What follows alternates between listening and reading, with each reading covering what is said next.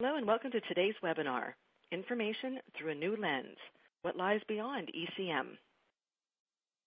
I'm Teresa Resek, Director of Market Intelligence Group here at AIIM, and AIIM is your host and producer of today's event. And with me are Neil Stidolph of Sword Group and Dave Jones of Nuxeo. Nuxeo is the underwriter of today's webinar, and we thank them for their support. And thank you for taking the time to join us today. Before we get started, just want to offer a few pointers for viewing today's webinar. By joining live, you can customize your own viewing experience, so feel free to open, close, or resize the different windows. Across the bottom of your screen is a list of all of the widgets that are available to you. And Group Chat is one of those widgets available to you. And just uh, click on that icon from that list in the bottom. And with Group Chat, you'll be able to text chat with each other and also with a few of us from here at AIIM do ask questions of the speakers throughout our time today using the Q&A feature. We will hold these questions until the end where we should have about 5 or 10 minutes to answer them. You can also use this feature to ask for technical assistance. You may download a PDF of the presentation at any time. Just look to the resources list that's to the right of the slide area. And there are also a few other documents and links in there to help you learn more about today's topic. Just click in there at any time, and the resource will open in a new browser tab, and you'll be able to save and read it after the webinar. At the end of the webinar, a brief survey will open in your browser, but it's also in that widget area below the slides. And I greatly appreciate it if you take a few moments to offer your feedback and to suggest other topics for us to cover. And we are recording things today, and it will be posted to AIIM.org's resources webinars page in just a few days. Now I'd like to introduce our speakers that we have with us. Neil Stidolph has more than 30 years of IT and information management experience. Currently, he's a strategy, business development, and information management specialist at Sword Group. And Neil is a former member of AIIM's board of directors and is an integral member in AIIM's GDPR and oil and gas special interest groups. Previous to his time at Sword Group, he was the head of strategic development and also the head of information management at Lockheed Martin, UK. We also have Dave Jones, and he is the director of product marketing at Nuxeo. And Dave is a skilled evangelist and communicator who thrives on taking complex subject matters and delivering them to audiences at all levels via a variety of innovative, diverse, and ultimately professional channels. So right now, I'm going to turn things over to Neil to begin our discussion today. Neil? Right. Thank you very much, Teresa, and hello everyone, wherever you are in the world today. So um, appreciate that introduction there. We've got a little slide here which just emphasizes those points and gives a few contact details should any of you wish to follow up with me after this presentation. So I'm going to dive right in here. We're going to spend uh, perhaps the next 20 minutes or so going through some of my observations about how the market is shifting. So to start with, we're looking at really ECM. So is it rubbish? Has it gone away? You know, is it appropriate still? And I would say that all things evolve, but um, we have to look at what's appropriate for the future. Um, maybe we find in certain areas that aspects of ECM evolved perfectly well and they're highly appropriate. So I might take an analogy there of uh, the world has sharks in it, and in the ocean, sharks work pretty good and have for millions of years. But I would think that our ECM systems probably don't look like sharks. They've started to evolve with strange tentacles, and now they maybe need to work on land, and we've tried to fit them with wheels. So if this starts feeling like you, maybe you need to think of what comes next. You know, how do we move on from that? But for some people in tightly regulated markets, perhaps, with formal and clear processes, mainly involved in internal information management, things could be effective and working well. Your economics might look good and the technology still works. So this is not a, a, natural cause and effect that you must move in the direction of content services. So we'll look at establishing what's appropriate and how you can uh, add agility to your systems. But let's bear in mind, you know, the old monolithic ECM could still be appropriate and valuable to your organization. So we won't lose sight of that as we go uh, in the pursuit of the shiny new things. So I'm taking a look on this slide really as to what's compelling us to move. So we've had a situation where there are forces maybe pushing us as things reach end of life. They become difficult to support. The costs maybe rise. The skills become scarce. We're maintaining too broad a front. and there can be some uh, uh, inertias in there and vendors' reluctance to help us move. Maybe they're not ready to move. Maybe they've got a good cash cow running there. So some of these things will compel us at some point to move. Holding us back, of course, will be a degree of fear, uncertainty, and doubt from our leadership, as well as technologists, as well as the user community or customers. So these things are all saying, the biggest thing I hear of, hey, it ain't broke. And that really seems to throttle back a lot of activity, a lot of reasons we could otherwise have moved along. So we need to take a look and say, well, yeah, something's working, but is it still appropriate? Is it good enough? Could we be doing better? Uh, let's just reevaluate that. Let's look at it fresh. And let's look at the proofs. So when people want to move into adopting new technologies, they want to find people who've done it a bunch of times before. And that's not always going to be the case in this world. There might be new named vendors coming along who people are unfamiliar with. So we have to find out through communities such as this how we can uh, reassure one another that it's safe to move into these directions and listen to the analysts too uh, and look at people who are making success from this. So when we look at the pulling forces as well, we see that those are increasing often in our businesses, the need to modernize, increased agility. Uh, we want to be smarter with our information and use analytics, get more value from it, get more insight. And people are more demanding. They look at things that they're doing domestically with their iPhones and other devices and saying, hey, this all should be a lot easier. It shouldn't suck when I come into the office. It should be better than that. So all those pressure fronts are, are causing us to be pulled towards the future, and we need to have responses for those. We need to know how to interact with those communities and give them what they need where it's appropriate. Again, not chasing all the shiny things, but knowing where stuff can add value. Uh, and certainly there are some transformational technologies coming along, such as uh, distributed ledger technology, which will shift things even more radically. So we'll take a look at that in a little while. So uh, I've, I've had my uh, coloring set out and drawn some little pictures here, and people from a software development world might remember the kind of imagery that's in here, that we had what the users wanted, so a, a tire on a piece of rope, and we end up with some strangely architected system which appears to do the same thing, but it all kind of got complicated and is it is it right? Is it maintainable? Is it really what's appropriate? And then that's just got harder as we're starting to lose control really as many new situations need to be addressed. Our organizations acquire new assets or new corporations and move into new territories and maybe new systems spring up or get acquired to fit into that and it all gets kind of messy and rather than diminishing, that just needs to increase as there's more interconnection going on between different organizations. Um, and things are shifting fast.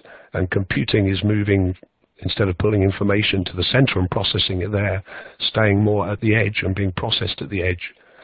So I've got a couple of uh, little fun facts here that Gartner are assessing that by the year 2021, there'll be 1 million new IoT devices sold per hour, which I'll pause a moment, which is quite breathtaking to think of the pace at which systems and information are going to be deployed and need to be coordinated securely and something done to leverage that information.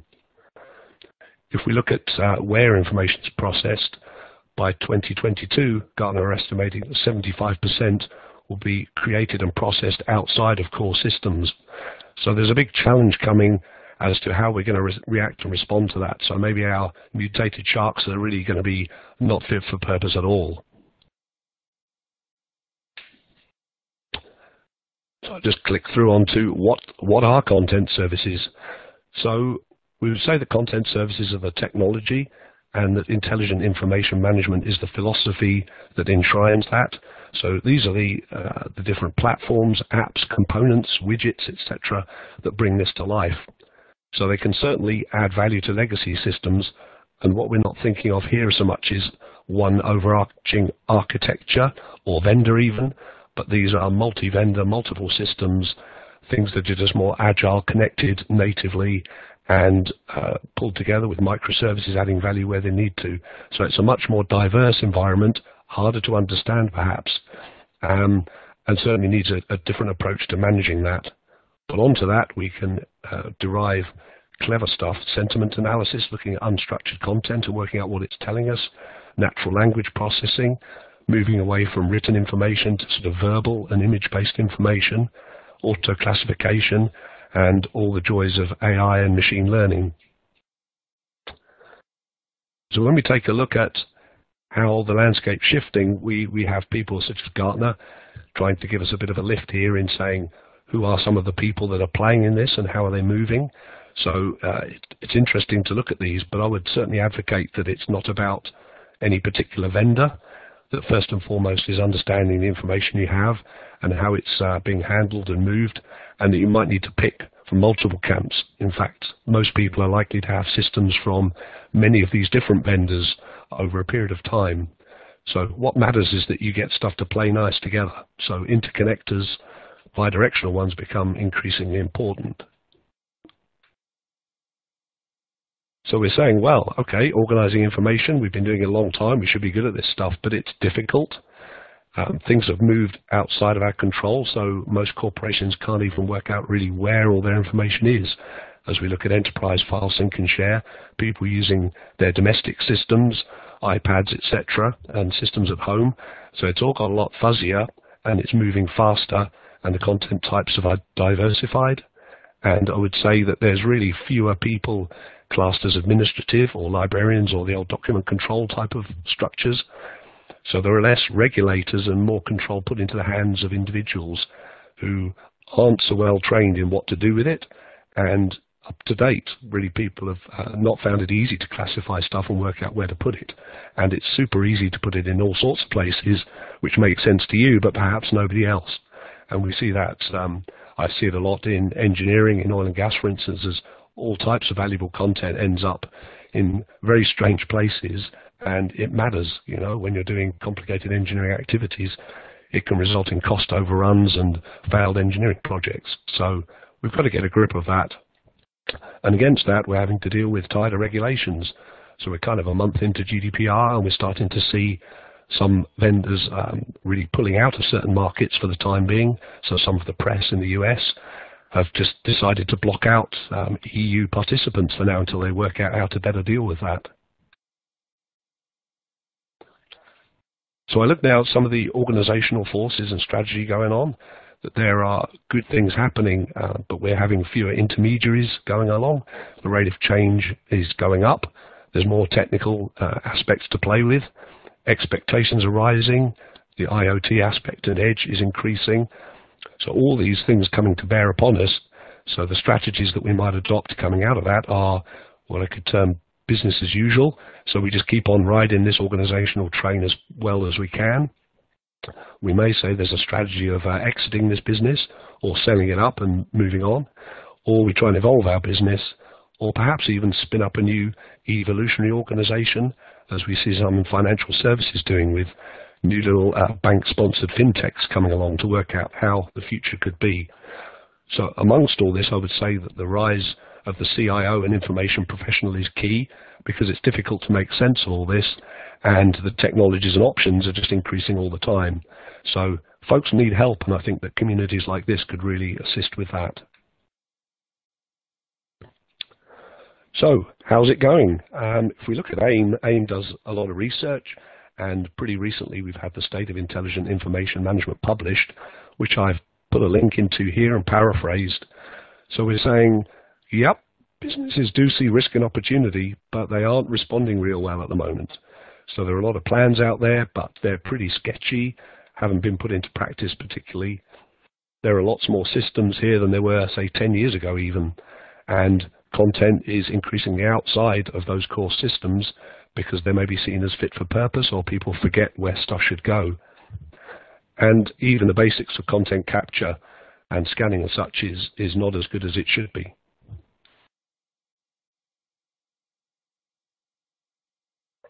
So um, we have our little light moment here. Where are we? So the Dakota Indians have a saying there, when you're riding a dead horse, the best strategy is to dismount. And a lot of people don't. They, they just say, hey, we can't afford to do that. We're so deep into this. It's too difficult to change.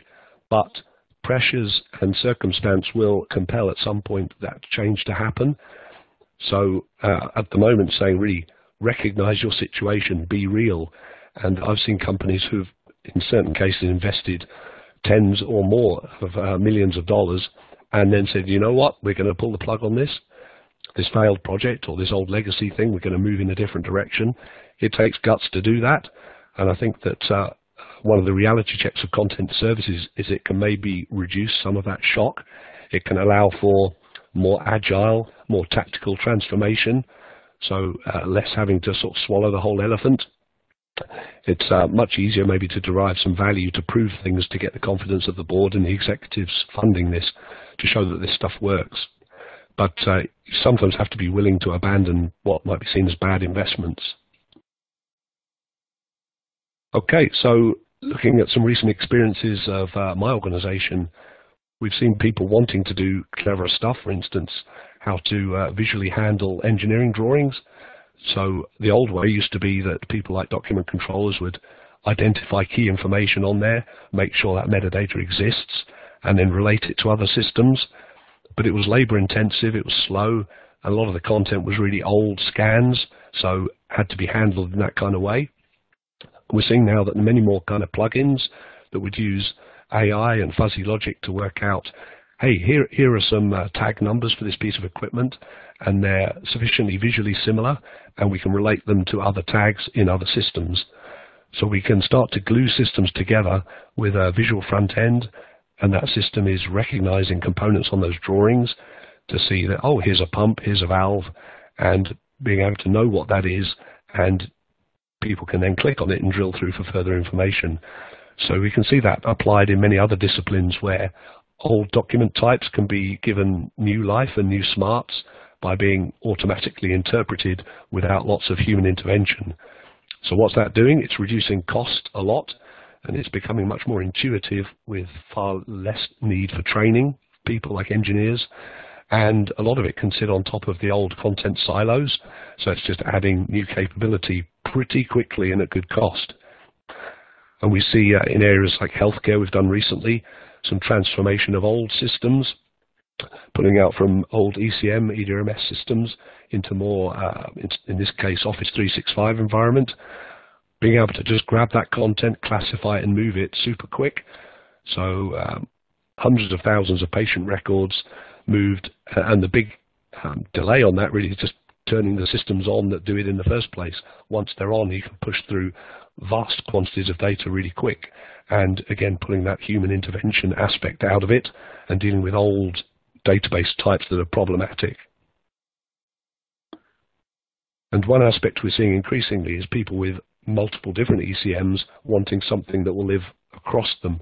So people can first off view content the concept of in-place records management so that they can interact, they can check out, modify and return all of those through one common interface regardless of the different ECM backend systems. So that's a good simplifying value-adding layer that people are getting attracted to. So I'm not going to dwell on this next slide. It's just to say really what everyone is trying to do is be more productive, get the overheads down, uh, support the way people work, make them happier and enjoy what they do, look at the risk factors and regulatory pressures and move those down, and put in a, an easier platform and basis for innovation. So regardless of what organization or part of the world you're in, I think all of those things hold true, and these are factors that you can maybe look on um, as, as you dwell back on this presentation afterwards and see how those relate to your own organization. So I'll flip through to here what I would call people-centric modernization. So we'll look in a moment on technology-centric. But for here, we've um, in SWORD put a lot of effort around understanding personas or the nature of individuals in organizations. So who are these individuals? What's their normal mode of work? You know, in federal government, perhaps you've got people working out in the field, highly mobile, maybe exposed to stressful situations, using certain types of device, maybe with poor communications, versus um, your information battle workers back at base who have a completely different class of system, always on connections and so forth. So we need to look at what use people need to make out of their systems and think very much of the world from their own perspective. So how they choose to work, how it can be made more flexible, easier, cheaper, faster. And as we look at things like um, AI and think, is that going to displace all these people? There's a thing which uh, is described as the Luddite fallacy. So we've seen um, in some cases that people thought with um, woolen mills turning up and cotton mills that this would actually reduce employment in those areas. Strangely, it actually went up as people realized the price of cotton went down through new manufacturing. People bought way more, so they needed more mills. So the net effect was uh, rise in employment. So we can't always predict that uh, technology change is going to be bad and it's going to be bad for people, that just things might operate slightly differently.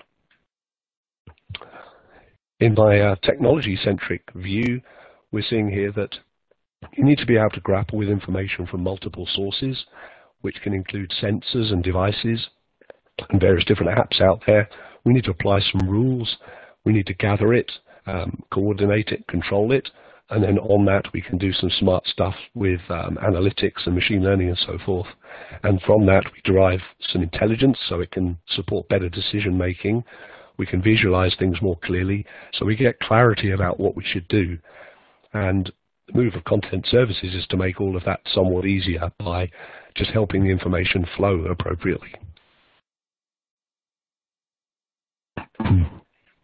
So all of this really is to serve information up to people better and to um, also help with automated systems. So um, in my space, that's the production of oil and gas resources and how we can interact with process control systems, for example. Okay, so I've just put um, some things I mentioned earlier on. All the buzzwords I think are uh, present and correct in this. and people say to me, oh, well, things like blockchain, is that really real? Is it even allowable? Is it GDPR compliant? So I would pull out some points from those really adopting this in anger, like the United Arab Emirates, so they're saving an estimated $3 billion a year on document circulation through using distributed ledgers, millions of work hours, document volumes by 390 million per annum, and some 1.5 billion kilometers of driving time per year. So this is about having to allow people to access information at a single point that is trusted and not having to duplicate it, print it, move it in some of the traditional ways. So there are a lot of changes coming a lot of things which are making the world seem pretty different. And we're seeing the methods of payment, all these other technologies are allowing us to do very different things. But what I would say is watch out for the POC frenzy. So should you go off starting up proofs of concept on things like blockchain and adding that to your tech? Well, maybe, but you need to really think, is that appropriate? You know, is that just, um, is that something we're competent to do? Maybe we should be looking at partners who can do that. Maybe local universities can help us with that. Maybe we ought to coordinate with some of our peers, um, find people in communities where there could be a, a joint initiative in certain areas. Let's de-risk it. Let's make it more purposeful.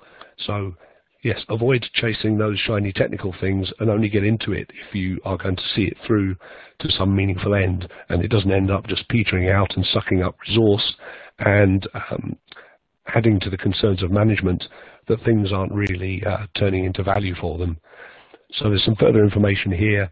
I've name-checked deep analysis, and for those involved with AIIM, seeing the new courses on emerging technologies, Alan was one of the course leaders on that in preparing that material. So there's another avenue people can adopt there if they want to see about those specific things. So all of that means really a degree of mapping so think, where are you? Where do you need to go? And look into these technologies and see where that's all leading. So I'm going to put in here just some of my personal recommendations to say all of this is not an IT issue. This content service is not technology. It's about opportunity really and business opportunity, whether you're in public services or in commercial uh, sectors. So the strategy means really making sure you reassess your information get to understand its value. So we're not just custodians in information management. We ought to understand how this information is used, how it could be used better, and what realizing that value would mean economically um, to our business. So we want to set a vision there for how the business could operate in the future. So this is where CIOs will play a crucial role in understanding that transformation and making sure there's the very highest level of buy-in to support that. And when we look at tactics and technology, we want to see about applying intelligent information management methods. So deploy some of these things, get some quick wins, and build out your wider technology transformation over time. So that's a good deal of talking from me, and I'd like to hand right over to the uh, estimable Dave Jones, and he'll just run you through uh, the Nuxeo interpretation of content services. Neil, thank you very much. Um, I think that, that was a fantastic walkthrough. uh, you know, the drivers for content services and the ways that people can potentially use this technology. And I really like the, the focus on in, in the intelligent use of IT and content services to, to start delivering business benefit. And um, as Teresa said at, at, the head of the show, um, my name's Dave Jones. I'm Director of Product Marketing at Nuxeo. And Nuxeo are a content services platform provider. And as a result of that, you know, we've we've been leading this charge towards content services uh, probably for about two, three years now. But what what we decided to do at the start of this year um, was take a bit of a reality check. So we we worked with AIIM, we did some research, and went out to the end user community and said, look, ignore all of the tech. Um, tell us about what you're trying to do with information, how you're trying to manage it, and some of the challenges that you're having in terms of doing that. And really, that's what I want to share with you today is, is some of the findings that we that we gleaned from that research. Um, and also really some of the interpretations and the non-technical aspects of of what people are looking to do with their information and how they're looking to get leverage from it. So I'm going to run through that very very quickly. But before we do that, I wanted to just highlight something. Um, so this, what you're seeing on the screen at the moment is the definition of, of enterprise content management or ECM. Uh, I think from about 10 or 12 years ago, um, written by AIIM, and it talks about ECM as being the strategies, methods, and tools used to capture, manage, store, preserve, and deliver content and documents related to organizational processes. And this is something that, you know, vendors have taken, that end users have taken and used as the, the you know, the, definition of ECM. Now, I want to offer up a potential definition for content services. Um, and what I want to highlight is, is just a few things. So for me, we're still talking about the strategies, the methods, and the tools used to capture, manage, store, preserve, analyze, and deliver data and content related to an organization. So a couple of things that I just want to highlight there. And the first thing is you'll notice that the, the definitions really aren't that different. And that's one of the key things that I want to get across. Content services is not massively different to ECM. There are a few subtle changes, but those subtle changes are hugely important and we'll see that as we roll through um, the, the, next few slides. So just a couple of things to, to, highlight. Yes, we've added analyze into the things that we're doing, and, and that's increasingly important. You know, we need to be able to interrogate and interpret and make use of the information, the behavior, and, and the analytics. So that's key. Second piece is we're talking about data and content now not content and documents. So things have moved on. We're not just looking at parts of the business that are focused on documents. We're working with metadata. We're working with data from CRM systems or financial systems and pulling all of this together. And the last piece is that we're now talking about doing this across an organization, not just looking at it related to organizational processes. And if you think back to what ECM was really good at, it was really good at doing things um, and optimizing processes that were document centric. So things like accounts payable processing and automation. Those processes within the business all revolved around documents. The challenge with that was that there's an awful lot of things that you do within a business that don't revolve around either processes or, or explicit processes or around documents.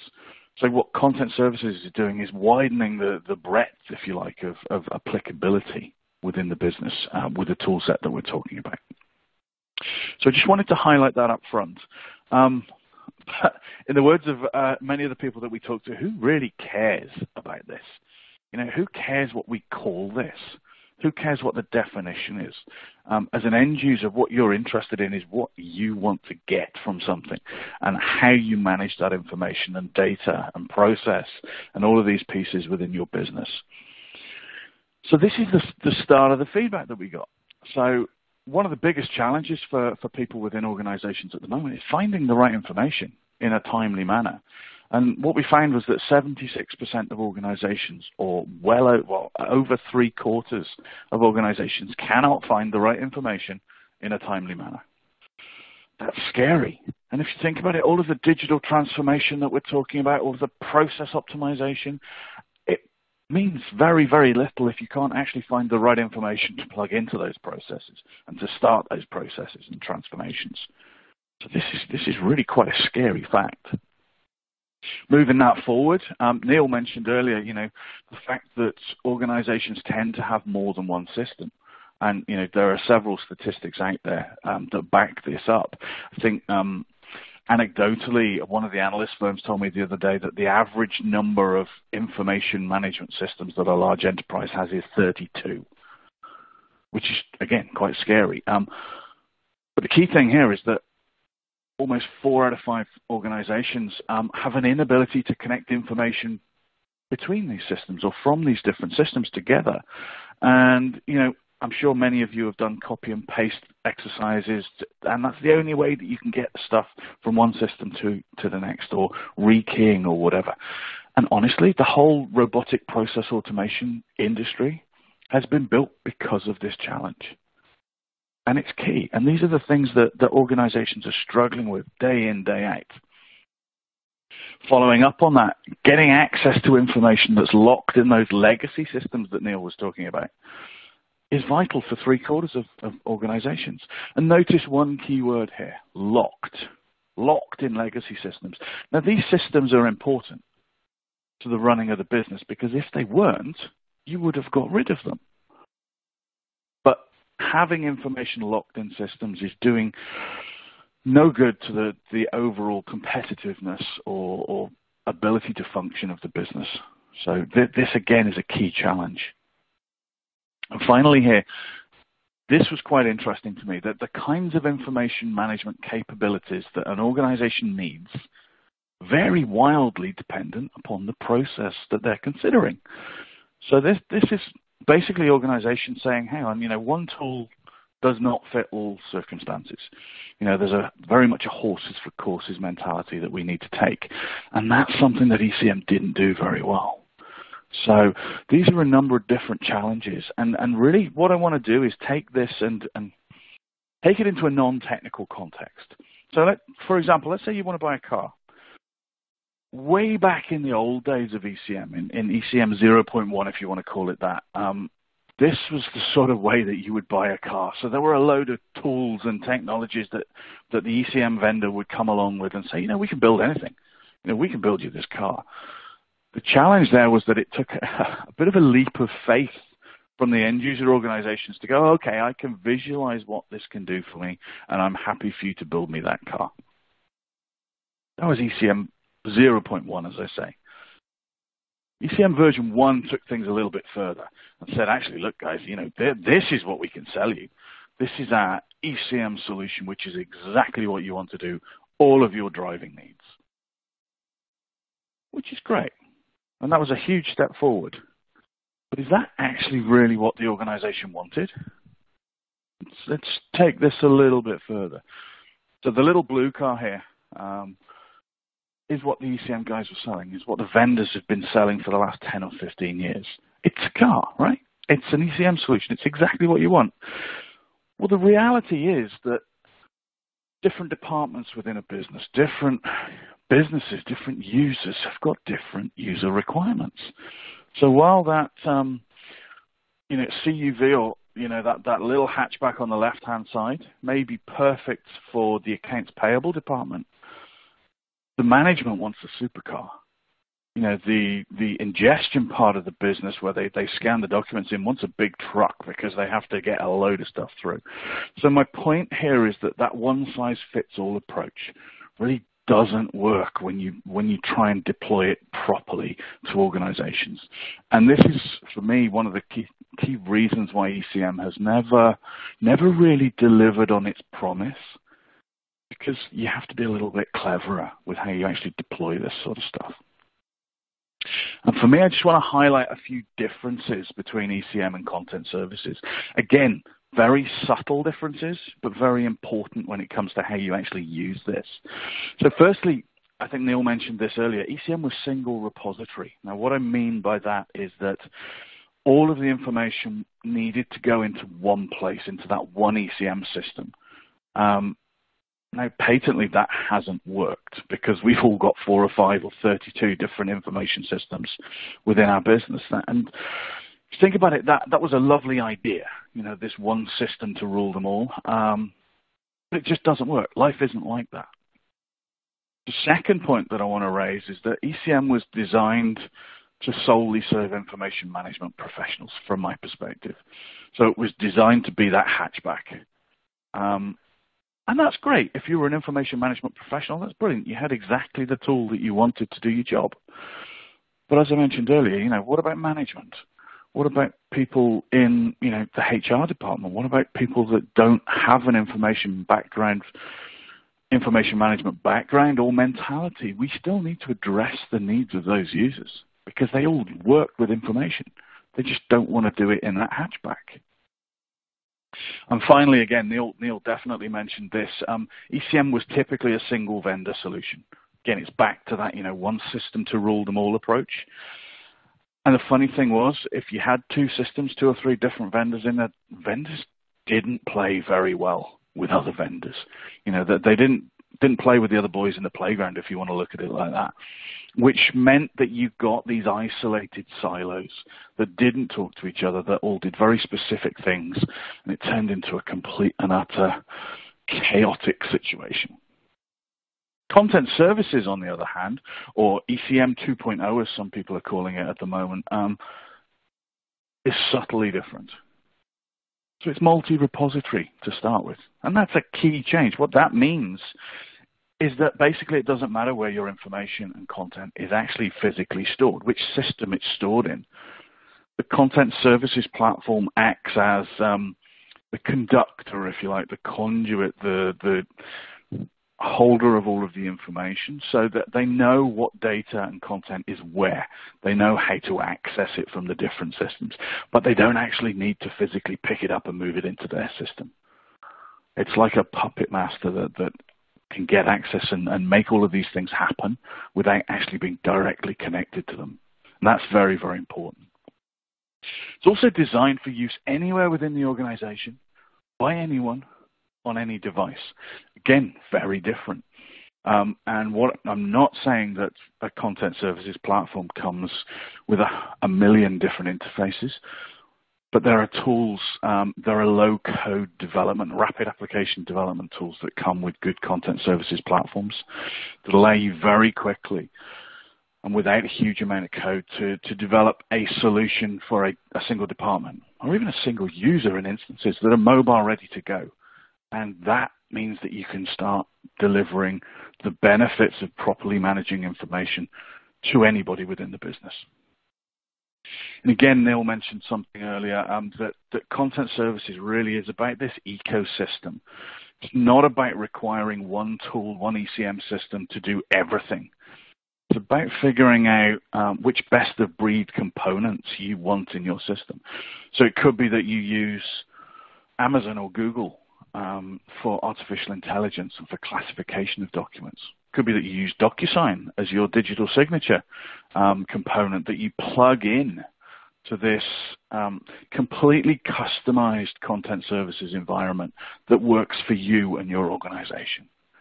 Again, very subtle changes, but very, very important when it comes to using it.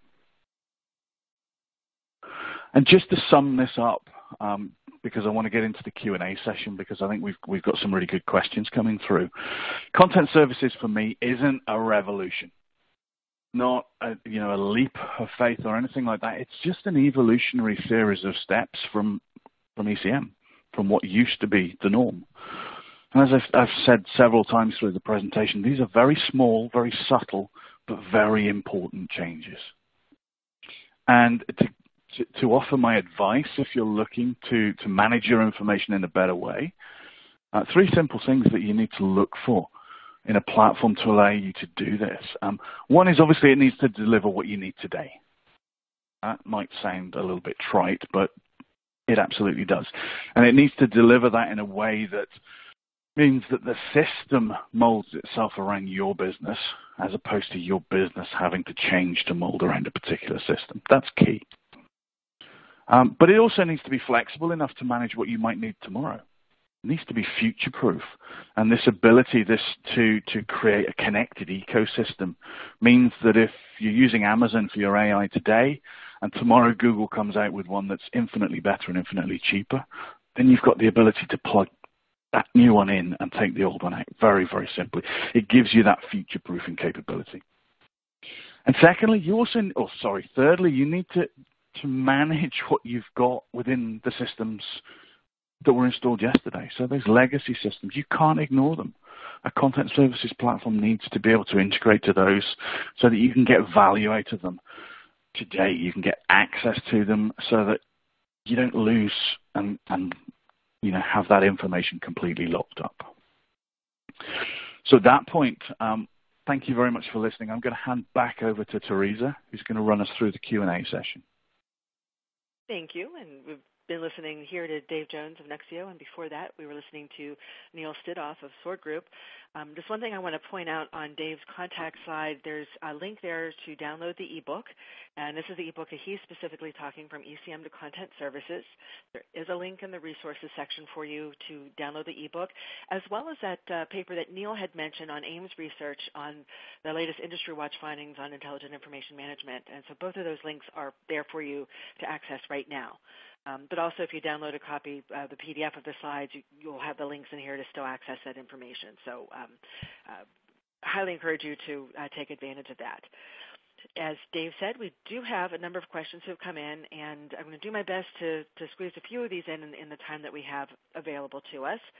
And um, I, am going to start with um, Neil, but Dave, please do feel free to join in with this because uh, I, I, know um, at the early earlier in Dave's portion of the talk, he, when he was first defining content services, he was talking about the emphasis on the analysis, but delivering data related to the organization, and less so about the documents side of things of of, of how ECM had looked looked at the industry in general.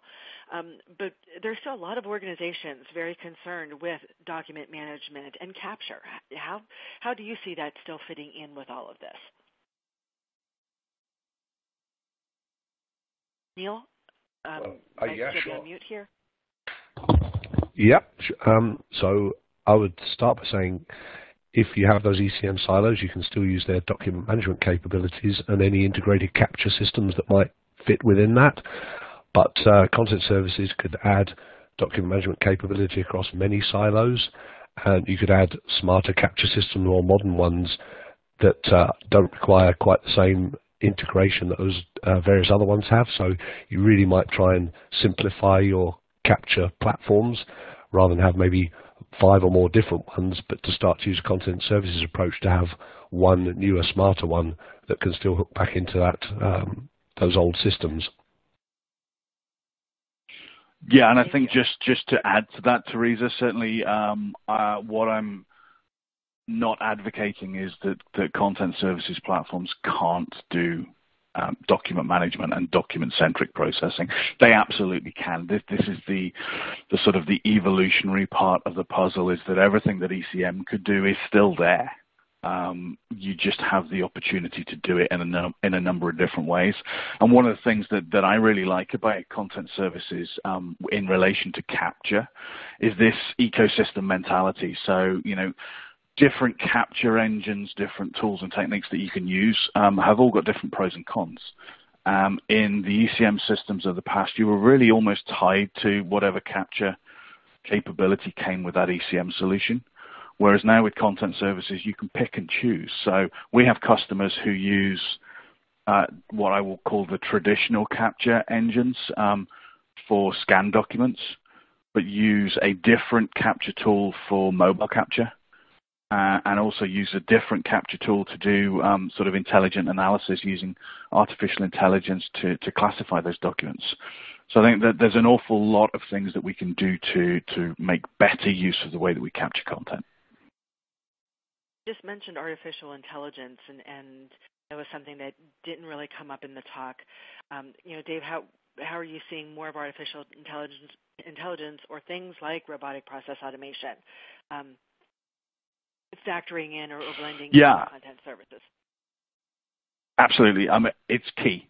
And it's one of those things that we didn't include in this presentation because there's almost enough content there for us to have, you know, a completely separate webinar on, on the, the topic of artificial intelligence. Um, for me, AI has got two uh, current use uses, if you like, within content services.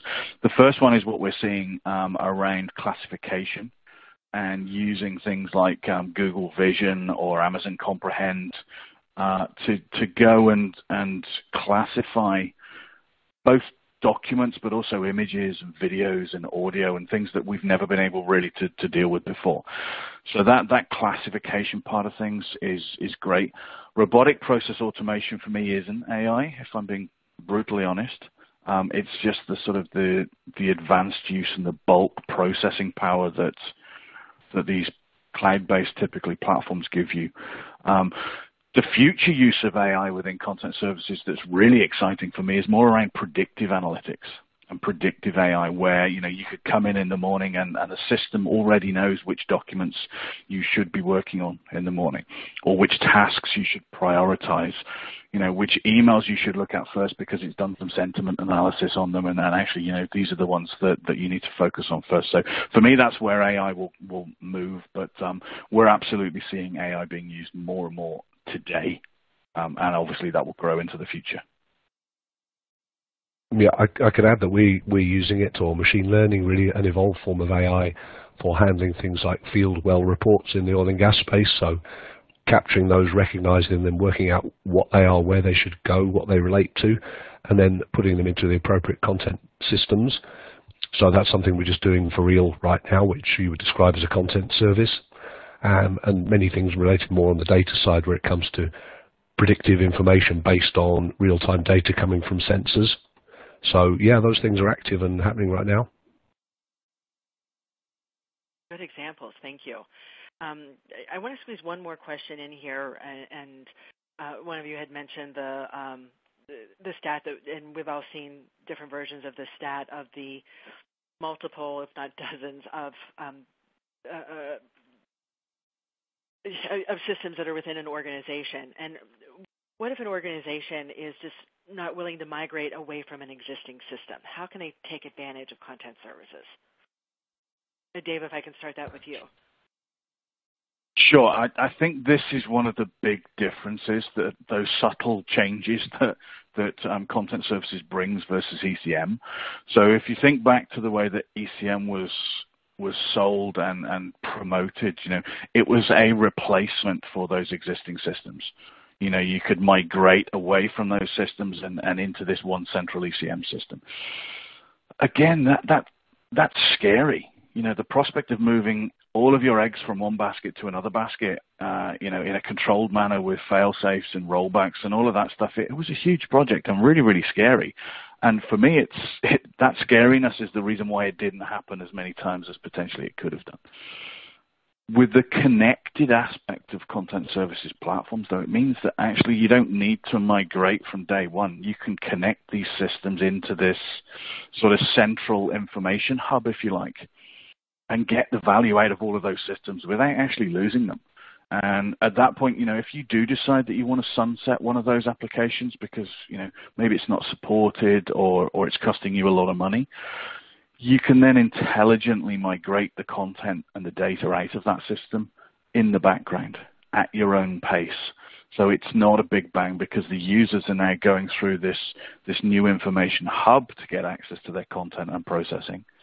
Um, so as far as they're concerned, they don't care where the data and the content is stored as long as they can get their jobs done. Mm-hmm. So you content services allows you to manage that in a much more intelligent and and you know risk averse way. Thank you. Thank yep, you. Um, I might add briefly to that, if I may, that uh, yeah, just to understand the conditions un under which you would have to move away from those systems and just monitor it. So in the meantime, by all means, sweat that asset, get the most you can from it, but know where you're going to go over a precipice. Uh, it might not be something of your choosing. It might be something in the external environment that causes that change. But just understand what levers are applying to it. Um, but within that, just just crack on and um, make better use of the information in those systems. Good points. Thank you. Um, something else uh, Neil had mentioned um, uh, the AIIM training uh, on emerging technologies, and I just wanted to point out here um, that AIIM is offering a special discount for all of AIIM, of our online training courses, and it's now until the 30th, so it's just about to the end of this week to take advantage of this discounted price. Um, so if you go to aiim.org/training, and there is our, our, new emerging technologies program, and as, oh, as, well as a lot of other programs in there. Um, that's all part of this discount. We have one on you know, SharePoint and Office 365, one on modern records management, BPM governance. There are so many different types of, of course programs in there. So, uh, like I mentioned, purchase any of these, multiples of these, um, by the end of this week. Receive a 40% discount on that price. That code is summer18, and that is at aiim.org/training. So, uh, I highly encourage you to take advantage of this um, this week. And since we are at the end of our webinar time today, um, just wanted to remind everybody that we have been recording this. Um, we'll be sending, and it will be that replay will be available in a day or two. Don't forget to download the resources. Please take the survey that we have. It's um, in the widgets uh, across the bottom of your screen. I greatly value your feedback. And I very much want to thank our underwriter, Nuxeo. Without the support of our solution providers, AIIM would not be able to bring you these free educational programs. So thank you, Nuxeo, for your sponsorship. It is appreciated. So as we bring our webinar to a close, I just want to leave everyone with our speakers' closing thoughts or key takeaways from what all we've discussed today. And I'd like to begin first with Neil Stidolph. Your closing thoughts. Uh, thank you, Teresa. And uh, yeah, my final thoughts were the world of information management used to be about looking after your stuff the world of intelligent information management and content services is really turning that stuff into power and value. So it's a much more progressive attitude. But I would say do avoid your business going wild. So the business buying its own stuff, moving the information around can end up being inappropriate, insecure, or in some cases illegal. So I would caution that governance around information still matters. But apart from that, go have fun. Thank you, Neil. And Dave Jones from Nuxeo, your closing thoughts today. Yeah, I think just to echo what Neil said, um, but also for me, this is a really exciting time.